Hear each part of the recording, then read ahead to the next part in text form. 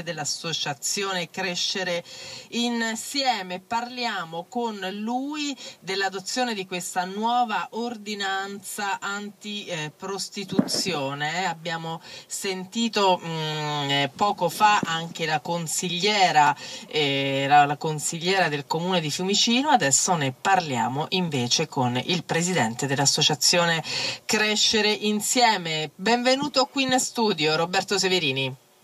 Buonasera a tutti voi, grazie. Allora, cosa ne dice di questa nuova ordinanza? Sì, finalmente, finalmente perché era un anno e mezzo che sul territorio eravamo senza ordinanza, un fenomeno che non è mai finito, non è, mai, non è che una, un'ordinanza possiamo pretendere che ferma il fenomeno, il fenomeno della prostituzione è conosciuto in tutta Italia e mai si fermerà fin quando lo Stato non inizia ad avere assumere una posizione di coraggio e su questa è una cosa veramente che bisognerebbe aprire una parentesi, però non l'apro in questo caso.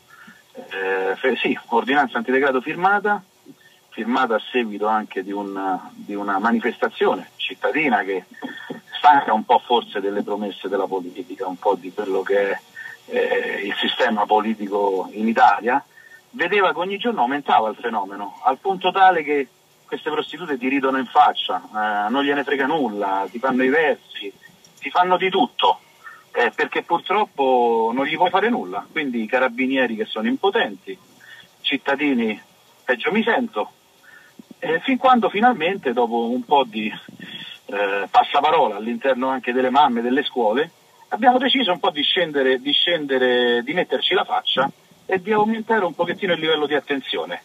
Questo l'abbiamo fatto perché noi chiedevamo un po' di, di, di decoro, con il fatto che queste prostitute venivano sotto la scuola media, quindi i bambini dalle finestre venivano ad imparare l'educazione sessuale.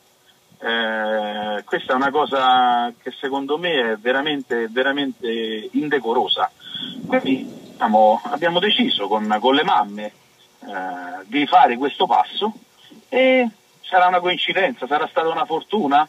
Il giorno dopo è arrivata l'ordinanza anti, antiprostituzione del sindaco che sicuramente non fermerà il fenomeno, questo dobbiamo mettercelo in testa, però sicuramente sarà un deterrente per i clienti perché sapere che comunque si è multati, sapere che comunque c'è il rischio del sequestro del veicolo, eh, comunque sarà un deterrente. Questo noi vogliamo, non vogliamo fermare le prostitute, noi vogliamo che lì in quel posto non ci siano. Noi vogliamo che i nostri bambini vadano a scuola sereni, che la polisportiva attaccata, attaccata il pomeriggio frequentata da bambini non può vedere quello scempio, quindi vogliamo che in quel posto non si vadano a prostituire, poi andassero dove vogliono, noi non ci interessa quello, ci interessa che in quel posto sotto una scuola media non ci sia la prostituzione.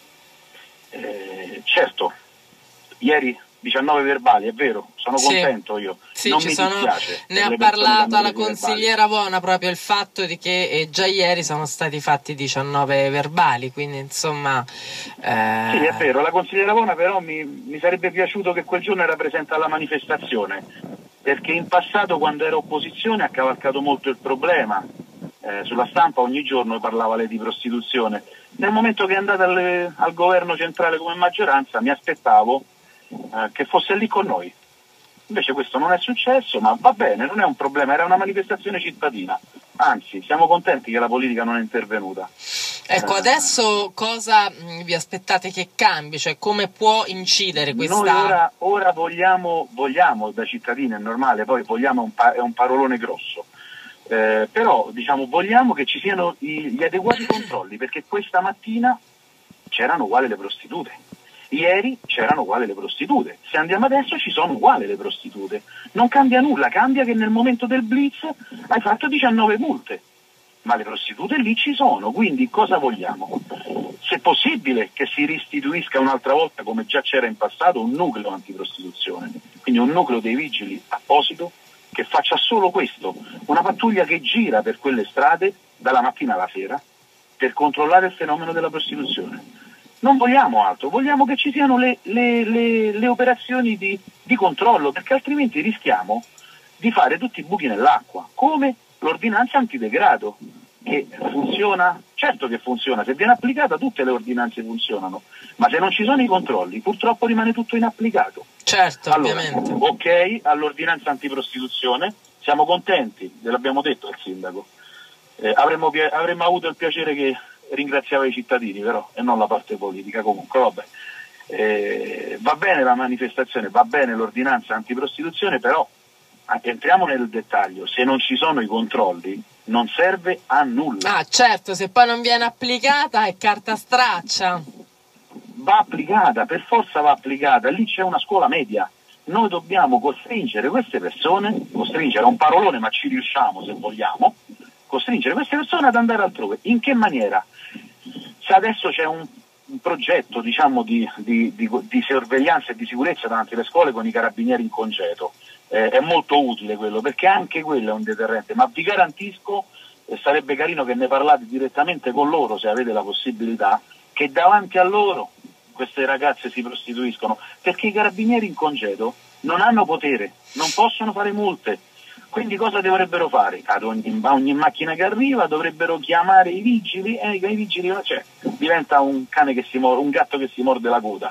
Allora noi dobbiamo fare una cosa, o diamo potere anche a questi organi. Quindi i carabinieri in congedo gli danno il potere di poter multare loro.